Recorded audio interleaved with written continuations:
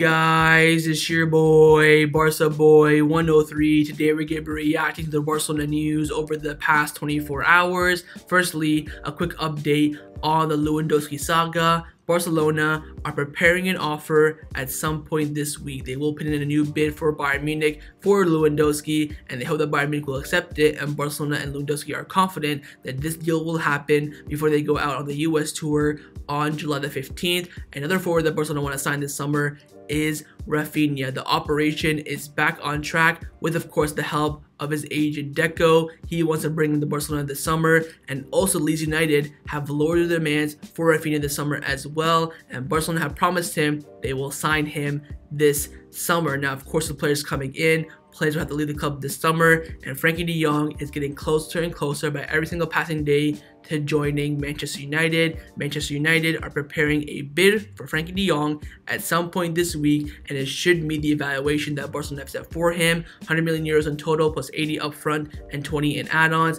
And also, Manchester United want to give Frenkie de Jong his exact same wages currently at Barcelona, making it easier for him to decide to leave Barcelona this summer. And Manchester United are under huge pressure to reach an agreement with Barcelona at some point this week. And lastly, we do have a big, and I mean big update on uh, Ansu Fati's injury. It's not looking too good. It's looking so bad to the point he's being compared to Samuel Umtiti. But before we get into it, make sure you guys smash that like button down below. Let's try to get to 300 likes in this video. It'd be very much appreciated. And also, if you're new, make sure you subscribe down below if you haven't already. And let's get into it. Let's start off with the transfer news over the past 24 hours. And the first player that we have been linked with is, of course, the number one target and priority signing for Barcelona this summer, Robert Lewandowski. Now, first, he's coming in from Sport. They've out saying that Lewandowski is convinced that Bayern Munich will see the reasons and start negotiating with Barcelona very soon. And Barcelona want to have him for the preseason tour in the United States,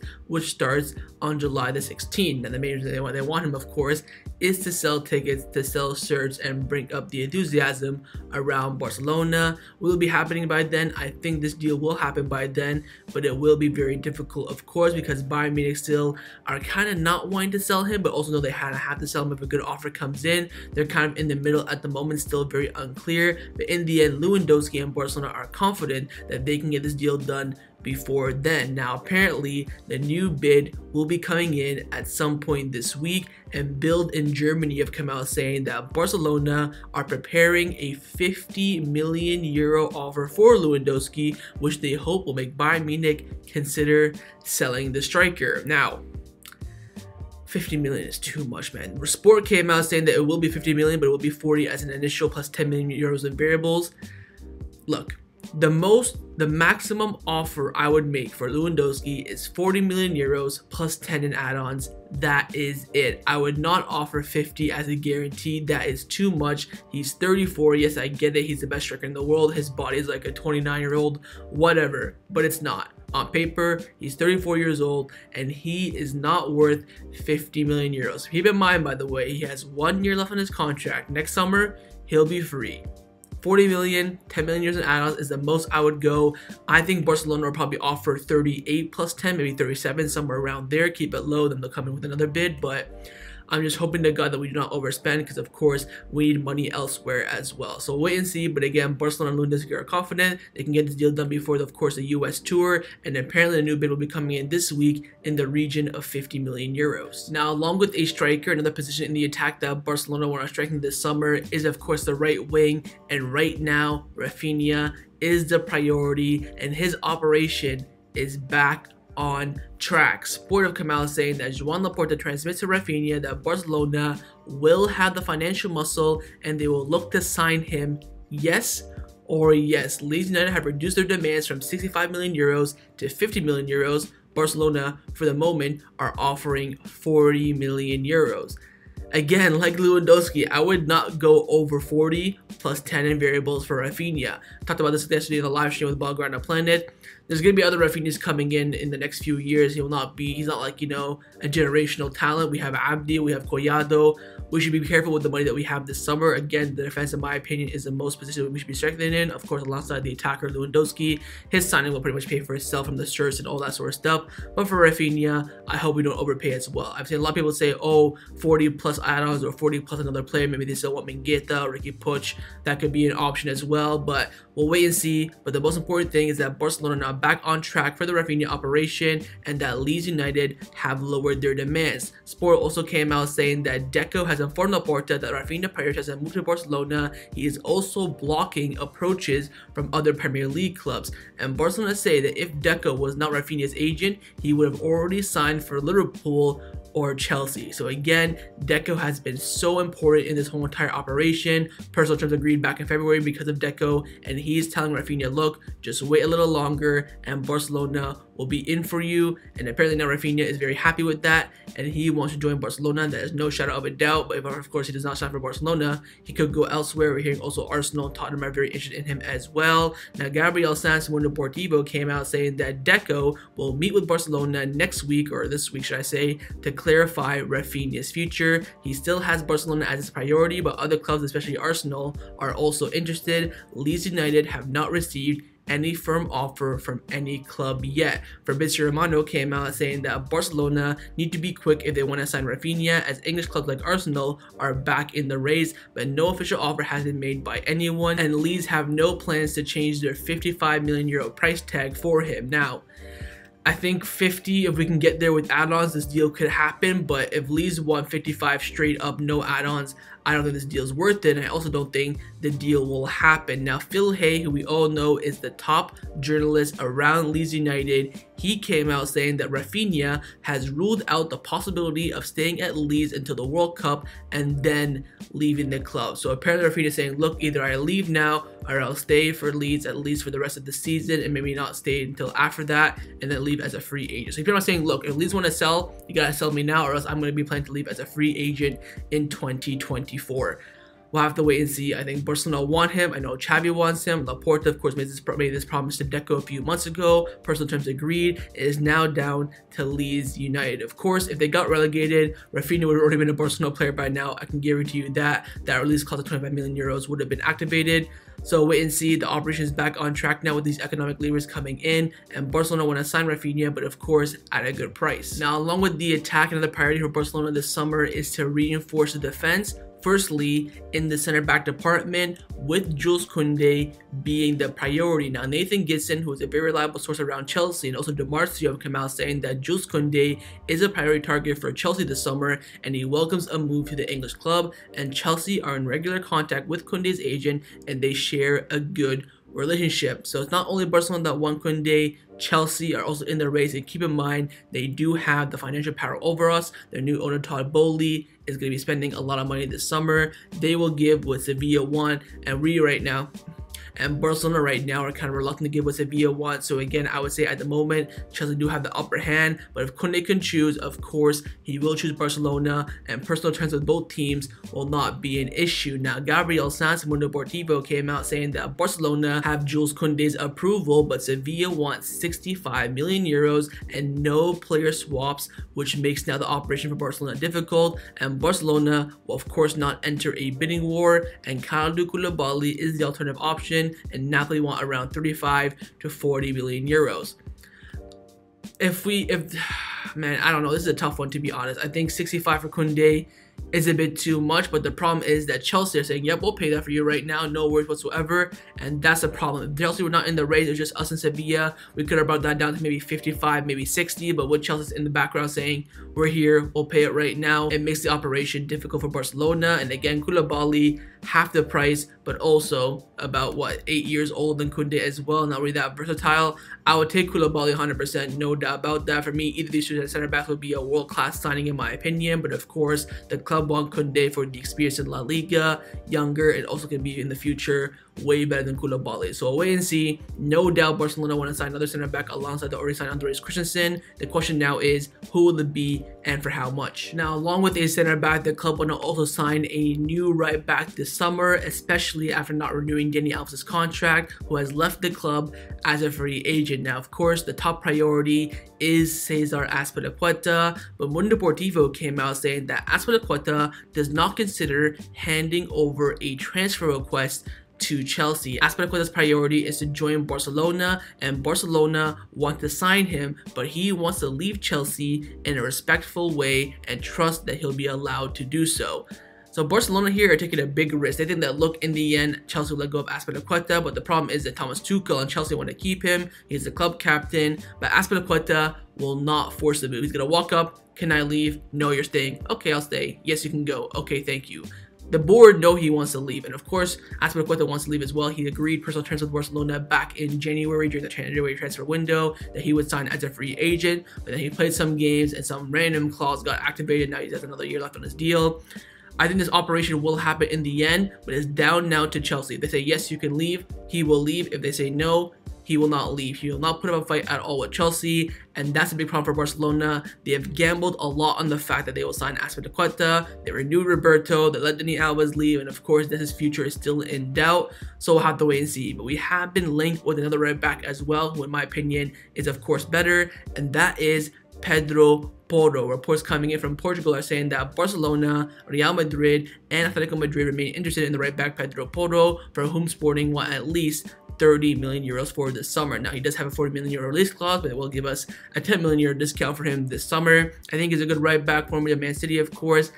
But to be honest, we're already spending money on Lewandowski, on Rafinha, on you know Alonso and Azpilicueta, Koundé we don't have that much money. I think this operation is too difficult for Barcelona this summer. There are other priorities. The club would rather have Dest and Roberto at right back than sign Pedro Porro for 30 million euros. I will tell you guys that for a fact, for free. So wait and see. I think Pedro Porro is very, very unlikely, but we have been linked with him. But again, the priority is Azpilicueta. Now, a position for Barcelona this summer that isn't the priority at the moment, but it could be later on in the window when there's more money and there's more clear idea of the squad is, of course, the midfield. Now, Gabriel Sanz and Mundo Deportivo came out saying that Barcelona are looking for a player who can replace Busquets or to be his alternative now, but they know that it's very difficult to find a suitable heir. The profile and tactical intelligence like Busquets is not easily found. And again, Martin Zubimendi is the main target for that replacement for Busquets. The club now know he most likely will leave as a free agent in 2023 next summer when his contract expires and now the search for the Busquets replacement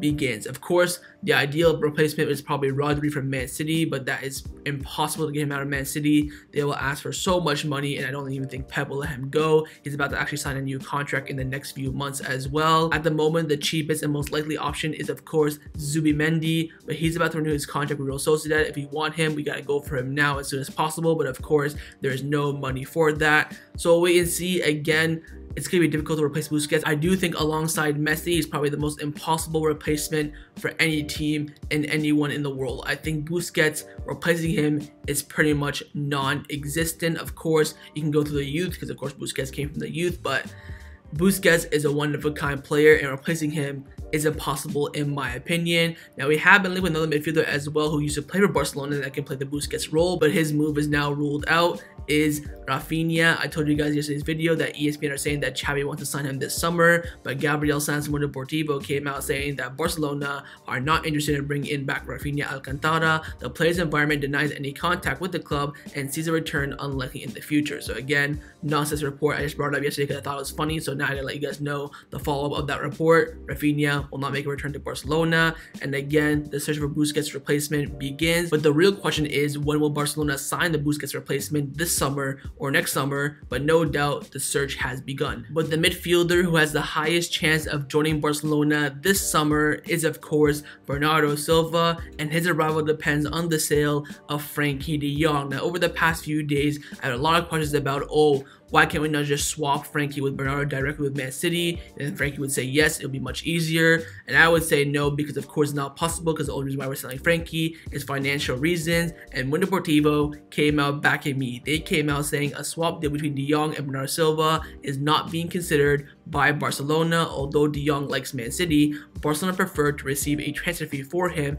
and they're waiting for an important offer from Manchester United in the coming days, which of course we'll talk about in the next minute. But again, for Bernardo, talks have begun with his agent Jorge Mendes on that possible move. Barcelona are anticipating that they will sell Frenkie de Jong in the next week or so, and they want to replace him with Bernardo. Again, a swap deal between Man City is not possible because, of course, the only reason why I was selling Frenkie is to balance the books. So wait and see on Bernardo. It's looking very good at the moment, but again, we have to sell Frenkie de Jong first, then we'll talk. Let's now discuss the players who have been rumored to leave Barcelona over the past 24 hours. Firstly, of course, the main one, Frenkie de Jong. Now, the CEO of Manchester United, Richard Arnold, was speaking to Man United fans in a local pub in a local restaurant in Manchester, and he was recorded on video secretly what he was discussing with those fans. Apparently, those fans went to his house to protest, and he said, "Look, let's go down to the pub and let's discuss face to face." And you know, the video is already out on Twitter. You can go see it. Pretty much what he said in, in, that Barcelona care about is that, "Look, we have the money for Frenkie De Jong. We will get him. The board are very confident in doing so, and money."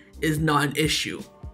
Well, obviously it is because for the past month and a half now, you've been negotiating for us for an extra 10 million euros off. So, again, with these leaks, I think the deal is pretty much done. I think there's no way United can walk away from this deal. They will look like absolute fools. And of course, their new manager, Erik Ten Hag, considers Frenkie de Jong an absolute priority. Number one, marquee shirt seller. What Lewandowski is for us, Frenkie de Jong is for them and they cannot walk away from this deal. I think in the end, they will make that offer that Barcelona won, 80 million euros plus 20 in add-ons to reach the 100 million euro valuation. And again, the CEO, Richard Arnold, has said on video to other United fans that they are very confident that this deal will be completed. Now, of course, the main reason why Barcelona want to sell Frenkie de Jong is to get rid of his wages. And Xavi Navarro came out saying that Barcelona would gain 60 million euros in salary limit with the sale of Frenkie de Jong. Again, he's going to be on 400,000 euros per week from his current salary and of course the deferred salaries over the past few years. He's going to be on a buckload of money and of course doesn't really fit the system and has been, you know, over the past year, I would say he has been performing to his expectations, of course. And right now, there's no doubt it's the best time to sell. If we don't sell him now, you gotta stick with him for the rest of his career. It's either we sell him now or it's never. And again, it looks like it's gonna be happening this summer. Fabrizio Romano came with the bombshell. He came out saying that Manchester United are discussing internally about submitting a new offer for Frenkie de Jong in the coming days. It is a serious possibility. Talks with Barcelona, of course, are currently ongoing, and Manchester United are prepared to offer Frenkie de Jong the high salary which he would earn at Barcelona next season, or else they would know they would have no chance of signing him next week, or of course this week, could be important for the possible transfer. Now, two big things here. Number one, the salary. They will give Frenkie de Jong exactly what he's earning right now Barcelona. That way, he can't really say no. And of course, secondly, there is going to be an offer because Manchester United this week will be releasing their finances and they want to hide that, of course, with the signing of Frenkie de Jong. As you guys all know, Manchester United are owned by you know a company or it's called the Glaze, and the Glazers are the owners' names, and pretty much they have to release next week their uh, their share prices, all that sort of stuff to show the fans like, oh, we still own the club, all that crap. It's gonna be looking very bad, of course, because their their value has been dropping a lot over the past few years, and they want to cover that up with the Frenkie de Jong deal.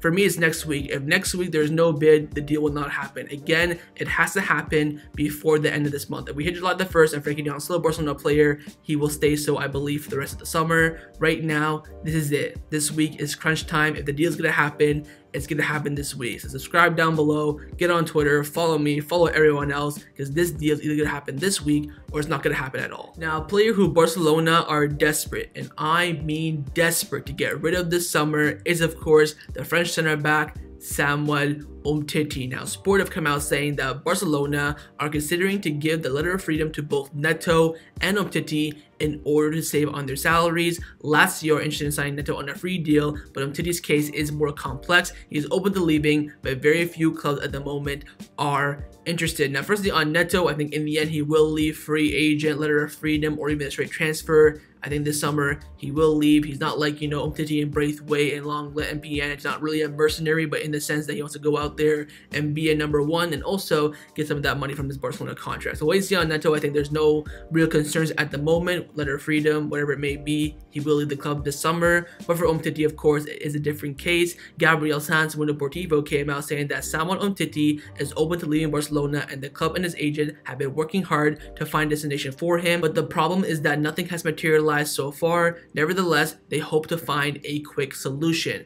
What's different about Umtiti this summer is that now we're hearing reports that he wants to leave from the beginning. We always heard from the beginning, oh, he wants to prove the coach wrong. He's going to go cry to the president. Then you hear the last couple of days he wants to leave but can't find a club. And in the end, he ends up staying. Of course, this time his salary is a bit lower with that contract renewal until 2026 that we did back in January to, of course, register Obama Aubameyang and Ferran Torres and Adama Dani Alves. To for that. But now the club are really pushing for his exit. If you're a betting person, I would put a good bet on him staying because there's no one that wants him. We're begging for Lyon to take him. His former club, of course, he has a connection there. He's a homegrown player, so they may take him back, but he has big wages, doesn't really want to cut them, and of course, he has one knee. So, Owen Sion Samu, I think his exit could be possible. It's been probably this is probably the most likely summer that he will leave the club, whether it's a loan, transfer, letter of freedom, whatever it may be. But the problem is again that no club wants him, and he rather sit at Barcelona, train every single week, and not play than of course be a free agent without a club. So Winston Titi, but again, it's gonna be very, very difficult to get rid of him this summer. Let's now discuss some contract renewal updates around the first team at Barcelona. Just one update, and that's on the one whose contract expires in 10 days.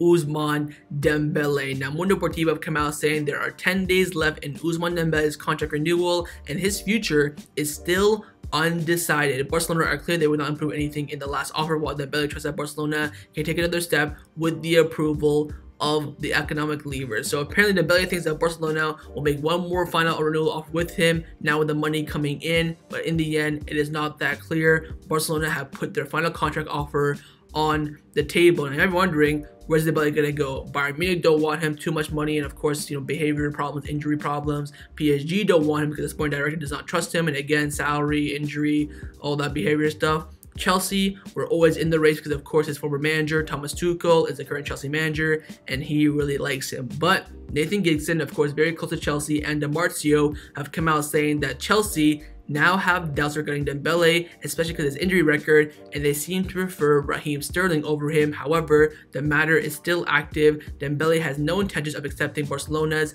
current offer on the table. So two big things there. Number one, Chelsea are going for Raheem Sterling. They put a bid in of 25 million euros and it has been rejected. They will go in again. He is the priority winger for them and Dembele is the backup. And also second thing, Dembele has no intentions of accepting Barcelona's current offer on the table this renewal is not happening. But again, by every passing day, you're thinking Barcelona is his only option left. Will he take that offer? I have no idea. But again, the only contract he has right now is from Barcelona. No other team wants him. United, PSG, whatever it may be. No one wants him. Chelsea kind of there thinking, look, worst case scenario, we'll get you, but you're not our number one target and priority. And again, it's all pointing towards Barcelona. Now, of course, there are reports coming in from France saying that Dembele's priority has always been to extend at Barcelona and he will wait until the final day. So again, we already knew this. He wants to stay at Barcelona, but of course, for the right price. And finally, Luis Rojo, of course, from Marca, still a top source around Barcelona, even though he writes for a Real Madrid paper. And he's come out saying that Xavi has asked Barcelona to make one more final attempt to renew Dembele's contract.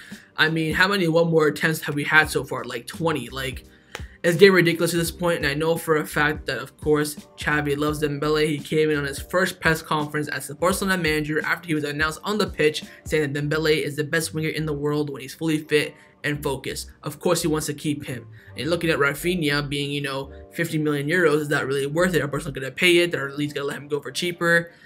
I mean, I can tell you guys this for a fact. We will have either Dembele or Raphinha. Well, I hope we have Dembele or Raphinha as our right winger next season. The question really now is, who's it gonna be? I think there is a chance that Dembele could stay, but again, 98, 99% Dembele will leave the club this summer as a free agent, but there is that 1% chance that he could end up staying. Now, the final topic that I want to discuss before I end off this video is give you guys an injury update on Ansu Fati. Of course, Ansu Fati at the moment is not injured. He has gotten the medical green light from Barcelona, but apparently he is still not back to 100% fit. Of course, he went out on Spain international duty for the Nation League and did not play a single second. Now, Ben Aid, who we all know is a very, very reliable source, top 10 in Barcelona without a shadow of a doubt, he's come out saying that Barcelona believe that Ansu Fati should have undergone the surgery for his recent hamstring injury and that he did a big mistake not under and that he did a big mistake not undergoing it five months after suffering that hamstring injury. He is not yet ready for competing at the highest level. In fact,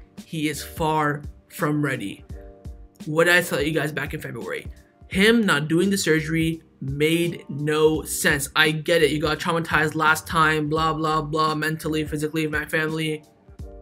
You only get one chance in life to become a footballer. When you get that chance, you have to grasp it. The surgery made perfect sense. They said at the time, we do the surgery, you never get this injury again. If you go natural, this will be a problem over your next few years. And he said, I want to go natural. That's his problem. I'm worried. I, I, I, I, if you guys look at my old videos, go look at December, January, February, where I talked about Ansu Fati's injuries. I said it and I'll say it again. I am worried. I cannot see Ansu Fati competing at the top level again. In my opinion, he is an injury prone forward. And guess what? we got more worse news. Javi Miguel, very close to Xavi, and of course, in terms of medical news in Barcelona, he's number one. He came out saying that Barcelona's medical staff are worried about Ansu Fati's physical condition. He is not 100% fit. People at the club do not understand how his entourage not accept their recommendation to undergo the surgery.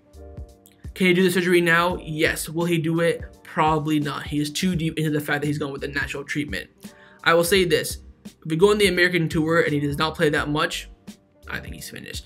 There has been this comparison about his uh, injury being very similar to Samuel Umtiti. I think that's a too. I think that's a bit far fetched. Of course, Umtiti got his whole entire meniscus removed. Ansu only got a big, a small part of it. So people are comparing it to it, and I think it could get to that level in the sense that he never plays for Barcelona again at the top level. I am very, very worried, and of course, this is why we have to keep Memphis Depay at the club, keep Varane, maybe even keep Adama, and maybe even have Dembele as and Raphinha in the squad because Ansu Fati is not reliable. Thank God we renewed his contract last year and put him on like 80k per week if you don't play a game. Because imagine we gave him the money that he wanted, he wanted around 120 just for not playing. We gave him look 80k a week when you're not playing, and then we give you 120 when you are playing. Thank God for that. So wait and see with Ansu. But to be honest, guys, I am very, very worried. I think this summer will be very, very important for him in terms of you know preparation for the for, for the uh, upcoming season. If we come the first game of the season and he's not starting, he's on the bench. I'm gonna be worried. I think this season upcoming is going to be make or break for Ansu Fati at Barcelona. Of course, the club will always trust him. He has a number 10 shirt. We, everyone knew we had to give it to him. He has that talent, of course, fully fit. He's probably the best player in Barcelona, but that's a question. Fully fit. He never is. So wait and see, but let's hope for the best for Ansu and that he fully recovers from this injury and becomes the best Ansu that we all know he can be. So that was my reaction to the Barcelona news over the past 24 hours. Hope you guys enjoyed this video. If you did, make sure to leave a like and of course leave me your thoughts down below in the comments on everything we discussed. The main thing on our first is of course on the Lewandowski saga and mainly being around his price. How much would you pay for him, including add-ons, and do you think this deal will happen before the US tour, which Barcelona and Lewandowski are hoping for? Secondly, on Raphinha, same question, how much would you pay for him? And secondly, with his agent Deco being on our side, do you think Barcelona have the advantage and could sign him this summer? Thirdly, on Frenkie de Jong, you and I both know this deal is happening. The question now is, do we get the right package and the right deal for him with the right money? And secondly, do you believe that Barcelona will invest that money back into his replacement in Bernardo Silva. And finally, your thoughts on the main story, in my opinion, over the past 24 hours, the injury of Ansu Fati. Do you believe he'll be back fully fit, ready to go for the start of the season? Or do you believe this is the start of the end of Ansu Fati at Barcelona? And of course, make sure you guys subscribe down below if you haven't already. And I'll see you guys next time on the channel. Take care and Forza Barca.